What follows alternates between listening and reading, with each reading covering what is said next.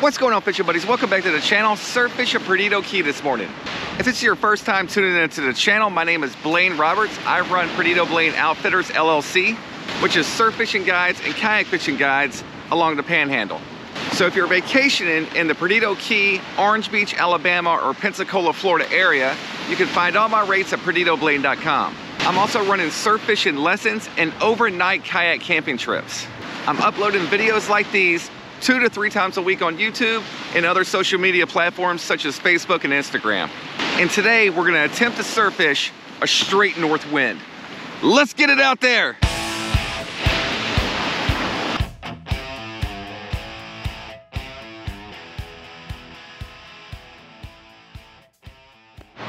So looking at my crude map of Florida here, we're around here. And then you have Jacksonville area, like up in here, Miami. So this region of Florida is the Gulf of Mexico, meaning that the Gulf is south, obviously north is back here. You get into the Jacksonville, Miami area, this would be east and this is the Atlantic Ocean.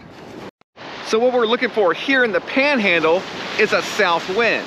A south wind will chop up the water, give it some movement, give it some chop, and you want that chop to stir up bait fleas, shrimp, clams, things of that nature. Basically anything that's small enough, light enough that all that current and all that chop will push it around. Smaller bait fish. So the ideal like surf conditions for the panhandle region would be a south wind. Moving into Jacksonville, Miami area, an east wind. North wind is about the worst you can get. As you can see, there is absolutely no movement out there. Oh, Oh, little rod's on. It's my little whiting rod. Got him up close, right there in all this moving water. Oh, he might have got me. He might have got me. Yeah. Oh, got a hit. Got a hit. Are you gonna do anything? I don't know if he's on there or not. We do have some dirty water.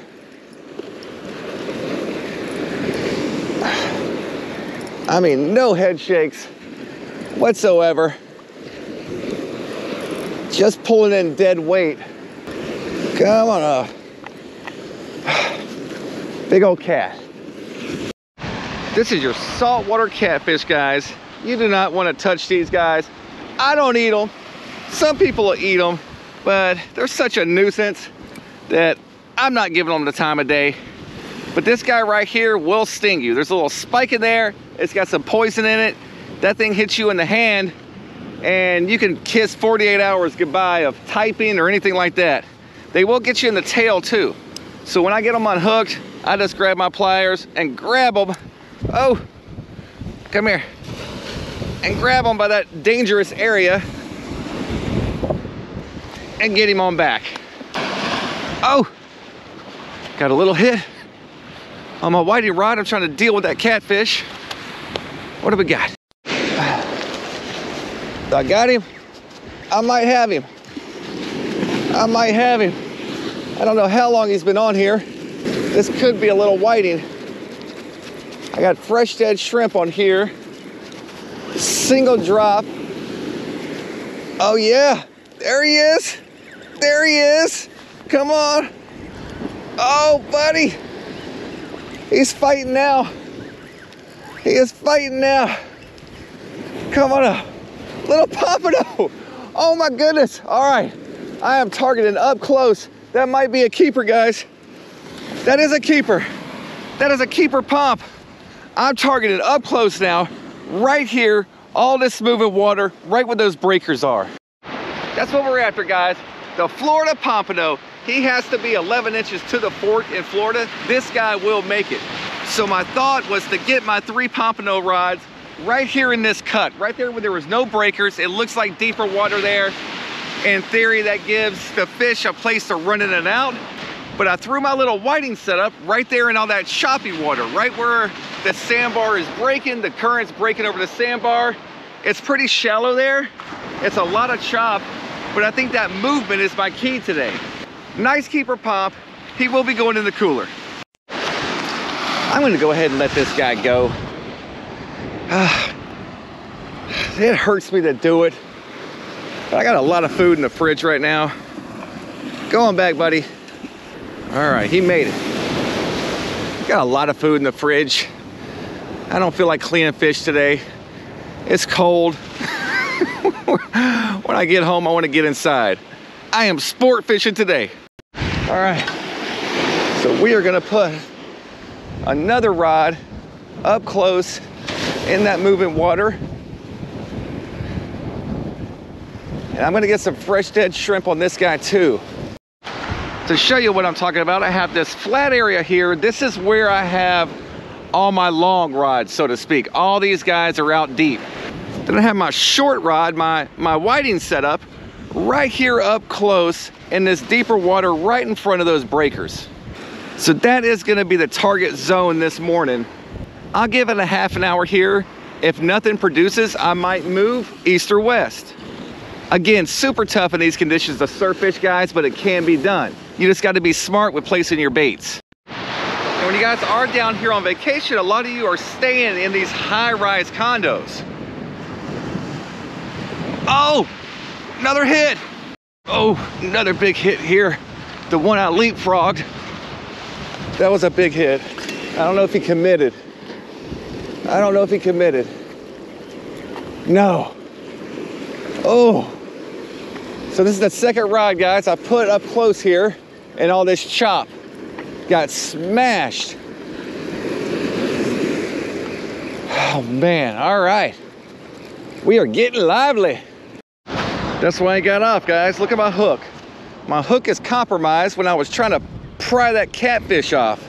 I didn't even notice it. I was trying prying that catfish off and my hook got all bent up. That just cost me a fish. All right, we're gonna get my last rod down here. At this point, I have them all leapfrogged. Get this guy right in front of the breakers over there. This is definitely where the action is, y'all. That's a big hit.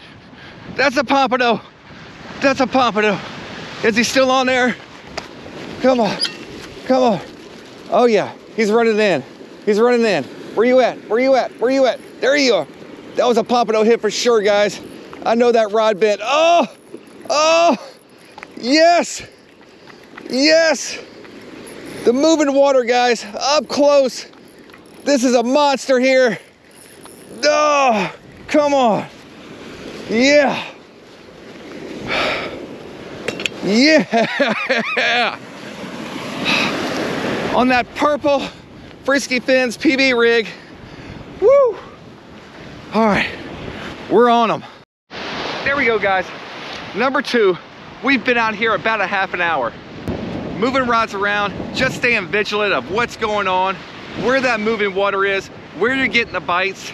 On these tough condition days like today, as soon as I got that first pompano over there up close in that moving water, I immediately put two other rods in that same position.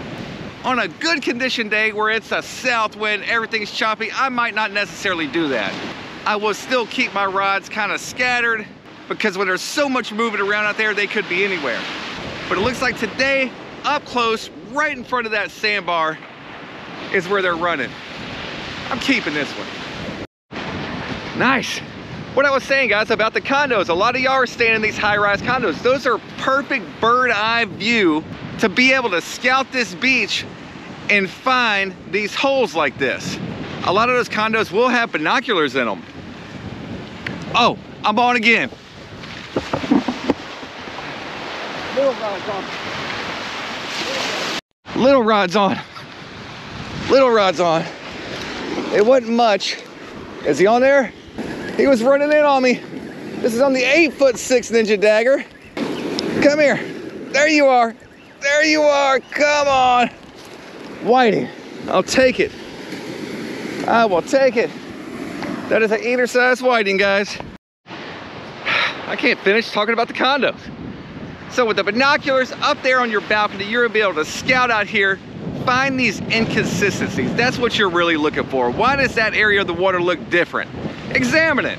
So today my target was this flatter water out front in between the two breakers. So I had breakers on my left, breakers on my right. It was flat in the middle. That tells me it's probably deeper there. I want more real estate for my fish to swim, so I'm putting lines in there. But because the water up close to my left looked different, it was something odd about it. It's a lot more choppier. It's moving in different directions. I'm gonna put a line there. I didn't know if it was gonna pay off or not, but it was worth investigating. And the investigation's paying off, y'all.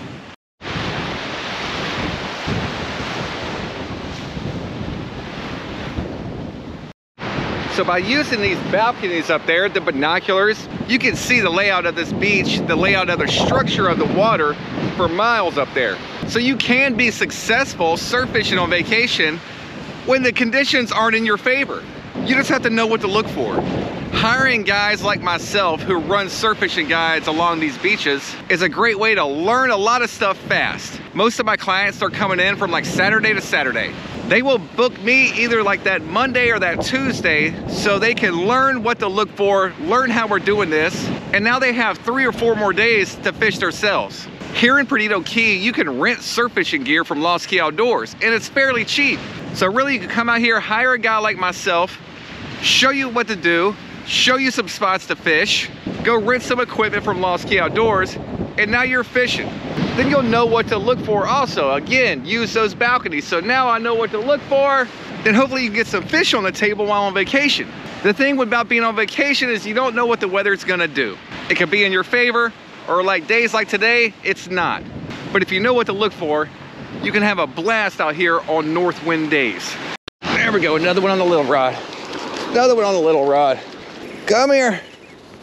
Oh yeah, come on. Another little whiting. He'll go in the cooler too. There we go. There we go.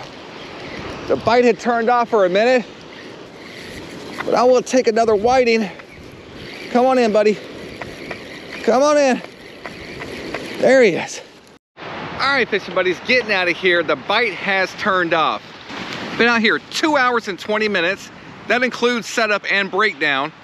Two pompano, about five whiting. I kept the two bigger of the whiting um, threw one pompano back, kept one, and then I lost a pompano due to a compromised hook.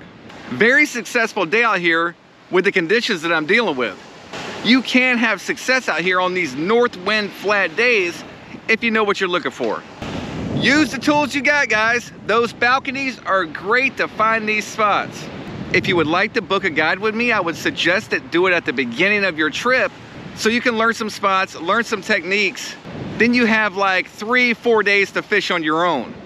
If you are interested in booking a trip, my website is linked in the description of this video. Get out of here and go clean these fish. Till next time, fishing buddies.